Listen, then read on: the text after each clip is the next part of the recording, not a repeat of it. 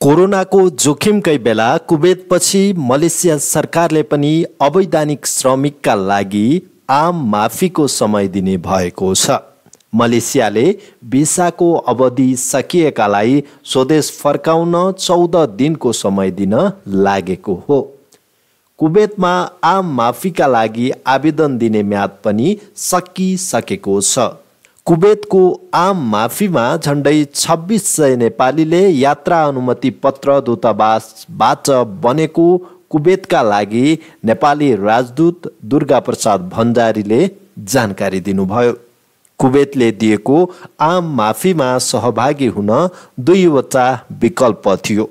पहिलो पासपोर्ट नहुनेले दूतावासमा गएर यात्रा अनुमति पत्र बनाउने। दोस्रो पासपोर्ट हुनेले कुवेतले तोकेको ठाउँमा सिधै सम्पर्क गर्ने। तर राजदूत भण्डारीका अनुसार पासपोर्ट साथैमा भएका नेपालीहरू नगन्ने रहेछन्। यहाँ पासपोर्ट साथमा हुने एकदमै कम नै हुनुहुन्छ। राजदूत भण्डारीले भन्नुभयो कति हुनुहुन्छ भनेर अहिले कुवेतले ठ्याक्कै तथ्याङ्क दिइसकेको छैन। मलेसिया सरकारले पनि भिसाको अवधि सकिएकालाई स्वदेश फर्कन चौध दिनको समय दिने भएको छ। जनवरी एकदेखि भिसा सकिएकालाई आउँदो मे बाह्रदेखि छब्बिस तारिकसम्म चौध दिनको स्वदेश फिर्ताको समय दिइएको मलेसियाका लागि नेपाली राजदूत उदयराज पाण्डेले जानकारी दिनुभयो। जनवरी एकदेखि भिसाको म्याद सकिएकाहरूलाई मलेसियाको अध्यागमन विभागमा गएर स्वदेश फर्कन पाउने अवसर छ राजदूत पाण्डेले भन्नुभयो। यसबारे हामीले परराष्ट्रमा जानकारी पठाएका छौँ। आजसम्म कुनै प्रतिक्रिया आएको छैन त्यसैले यसबारे थप भन्न सकिने अवस्था छैन। अवैधानिक रूपमा विदेशमा बस्दा श्रमिकलाई समस्या हुने भएकाले पनि यसरी अवसर पाएका बेला नेपालीलाई स्वदेश फर्काउनु पर्ने राजदूत पाण्डेको भनाइ छ। उहाँले भन्नुभयो परराष्ट्रलाई नेपाली फर्काउन पाउनुपर्छ र फर्काइनु पर्छ भनेर भनेका छौँ प्रतिक्रिया आएको छैन। कुवेत सरकारले आम माफीमा सहभागी हुनेलाई आफ्नै खर्चमा सम्बन्धित देश पुर्याउनेछ। अप्रिल छब्बिसदेखि तिससम्मको अवधिमा सहभागी भएका नेपाली सहित भारत बङ्गलादेश फिलिपिन्स लगायतको देशका नागरिकलाई अहिले कुवेतले आफ्नै खर्चमा राखेको छ। फिलिपिन्सले आफ्ना केही नागरिकलाई लगे पनि भारत बङ्गलादेश लगायतका देशका नागरिक अहिले कुवेत सरकारकै सेल्टरमा स्वदेश फर्कने बाटो कुरिरहेका छन्।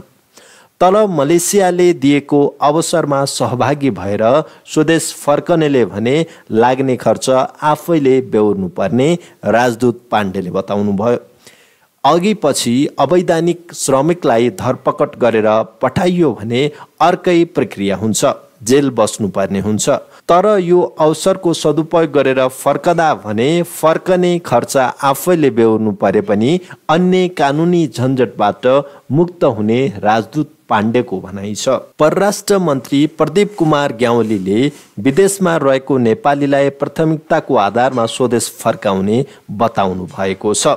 सोमबार श्रम रोजगार पत्रकार समूहसँगको छलफलमा उहाँले विदेशमा समस्यामा परेका नेपालीलाई प्राथमिकताको आधारमा नेपाल फर्काउन सरकारले तयारी गरिरहेको बताउनु भएको हो। तर पछिल्लो समय कुवेतसँगै मलेसियाले आम माफीको समय दिएर अवैधानिक श्रमिकलाई स्वदेश फर्काउने अवसर दिए पनि यसमा सहभागी भएर फर्कनेलाई ल्याउनु चुनौतीपूर्ण रहेको उहाँको भनाइ छ। आम माफीमा सहभागी हुने अत्यन्तै समस्यामा पर्नुभएका गर्भवती आफन्त गुमाएका लगायतका श्रमिकलाई पहिलो प्राथमिकतामा ल्याउने हो। परराष्ट्र मन्त्री ग्यावलीले भन्नुभयो तर यसो गर्दा झन्डै तिसदेखि पैँतिस हजार श्रमिकलाई एकैपटक ल्याउनु चुनौतीपूर्ण छ। आफ्ना नागरिकलाई गन्तव्य देशले आफ्नै खर्चमा जहाजमा पठाउँछौँ भन्दा रेस्पोन्स गर्नुपर्ने भए पनि क्वारेन्टाइनदेखि कोरोना परीक्षण लगायतका विभिन्न तयारी आवश्यक भएकोले अहिले चुनौतीपूर्ण रहेको मन्त्री ग्यावलीले बताउनुभयो। उहाँले भन्नुभयो हामीले उहाँहरूको पीडा बुझेका छौँ तर उहाँहरूको पारिवारिक सुरक्षाका लागि पनि यो निर्णय गरिएको हो। तर हामीले अहिले कसरी उद्धार गर्ने भनेर छलफल गरिरहेका छौँ तर अहिले नै कहिले भनेर मिति भने भन्न सक्ने अवस्था छैन। प्रदेशमा श्रमिकलाई परेको समस्या समाधानका लागि सम्बन्धित देशको पनि दायित्व भएको भन्दै उहाँले त्यसका लागि प्रधानमन्त्रीसँग आफूले पनि गन्तव्य देशका राष्ट्र प्रमुख र विदेश मन्त्रीसँग कुरा गरिरहेको बताउनु भएको छ।